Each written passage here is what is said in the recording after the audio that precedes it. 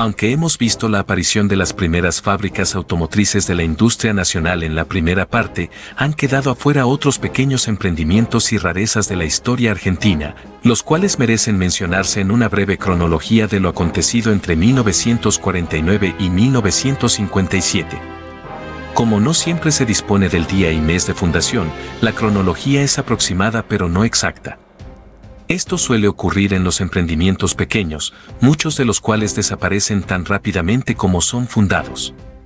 Resumiendo, en 1949 se funda Autoar, la primera fábrica argentina de autos. En 1951 aparece Llame, Industrias Aeronáuticas y Mecánicas del Estado. Fabrican rastrojeros, coches justicialistas, tractores Pampa y motos Puma. Año 1952, surge Mercedes-Benz Argentina. Primero ensamblan pero en 1959 empiezan a producir vehículos nacionales.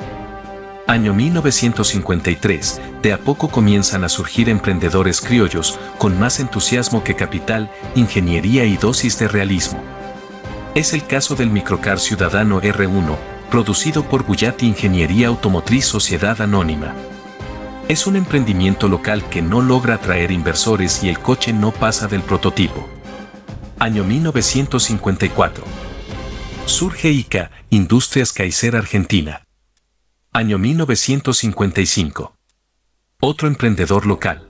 Rixa, empresa metalúrgica de San Nicolás de los Arroyos y dedicada a la producción de maquinaria industrial, produce el Mitzi, basado en el coche del mismo nombre de la italiana Siata, amén de un par de modelos más. No pasan de la etapa prototipo al no atraer inversores. Corre el año 1956. Aparece la Rural Jefe producida por Casa Feeling. Se ve como una versión depurada de la Rural Justicialista, renombrada después de la Revolución Libertadora. Duran solo un año. Año 1956. La Revolución Libertadora rebautiza al justicialista Graciela como Graciela W y le ponen motores de Warburg 311 procedentes de Alemania Oriental. En 1962 comprarían algunas carrocerías del 311 para seguir instalándole los motores remanentes y se producirá hasta 1963.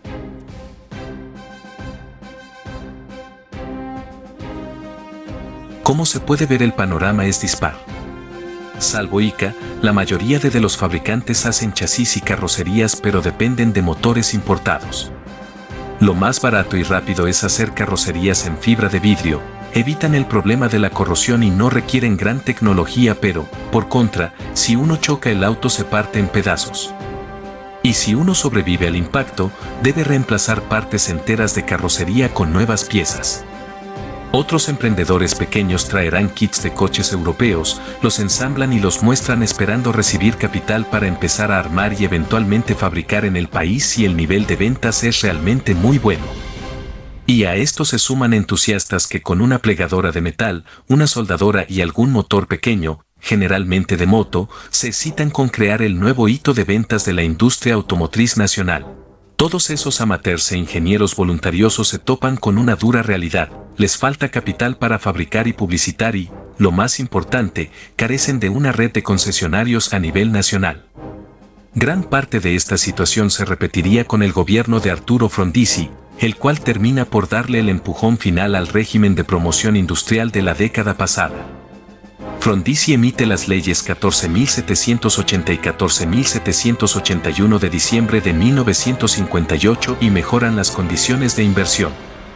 La contraparte es que se exige una integración del 70% de partes locales. La propuesta de Frondizi es muy tentadora y atrae a gigantes de la industria como a pequeños emprendedores hambrientos de éxito, la inmensa mayoría de los cuales desaparecería en menos de 10 años.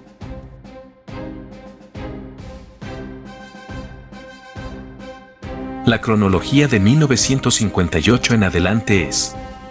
Año 1958.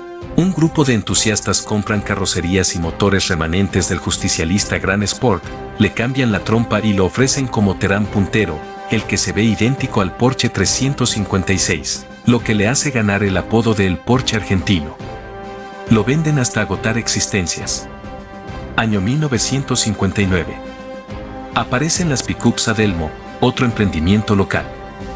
Solo venden 100 unidades y cierran en 1963. Año 1959. Arranca Ford produciendo utilitarios. En 1962 presenta el Ford Falcon, el auto emblemático de Argentina por excelencia. Año 1959. ISAR produce variantes del Gogo Móvil y están activos hasta 1965. Año 1959. Llega Citroën Argentina Sociedad Anónima. Empieza a producir en breve el 2EV. Año 1959. Siam Ditela, fabricante de electrodomésticos, empieza a ensamblar Railis 4 con el nombre de Siam Ditela 1500.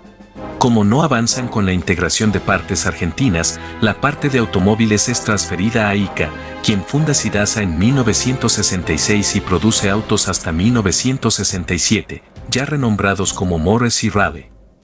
Año 1959. La red de concesionarios X presenta el Cooler, con carrocería de fibra de vidrio y motor Warburg. No pasan de producir tres prototipos. Año 1959. De Carlo empieza a armar modelos del BMW i7 y BMW 700, llegan hasta 1965. En 1959 aparece otro microcar de fabricación artesanal, el Joseso. Fibra de vidrio más motor de motocicleta. Dura hasta 1960 con 200 unidades producidas. En 1960 desembarca Fiat Concorde y produce su primer auto, el Fiat 600. Año 1960. Studebaker arma un par de pickups, la Transtar y la Champ, pero la casa matriz ya viene con serios problemas financieros y cierran en 1965. Año 1960 comienza Chrysler Febre, también fabricando utilitarios. Presenta el Valiant P200 en 1962. Año 1960. Es el turno de Auto Unión, arranca con el modelo 1000 y más tarde con una serie de combis y pickups. Año 1960. Los alemanes de Goliath Hansa comienzan a producir modelos, pero duran hasta 1961. Año 1960 surge lo que más tarde será Safrar. Importaba Peugeots 403 desde 1956 pero en 1960 los produce de manera local. Año 1960. Aparece el Bambi, la versión local del Fuldamobil, un microcar europeo. Se fabrica, ensambla, hasta 1963. Como tantos otros, no terminará por cumplir las cuotas de producción nacional y se les quita la licencia. Año 1960. Borgward desembarca con el furgón B611 y al año siguiente con el sedán Isabela. Al fundirse la casa matriz alemana, la filial local cierra en 1963. Año 1960. Emprendedores arman un coche de carrocería de fibra de vidrio y motor Porsche y lo ofrecen como el Sunder 1500. Solo se produce el prototipo. Ahora estamos en el año 1961. Alcre Argentina. Importan un par de coches Champion europeos y los ofrecen con esperanza de empezar a fabricarlos en Argentina. Pero los autos Champion tienen terribles problemas de ingeniería que los transforman en trampas mortales cuando alcanzan velocidad, momento en el cual se les parte el eje trasero.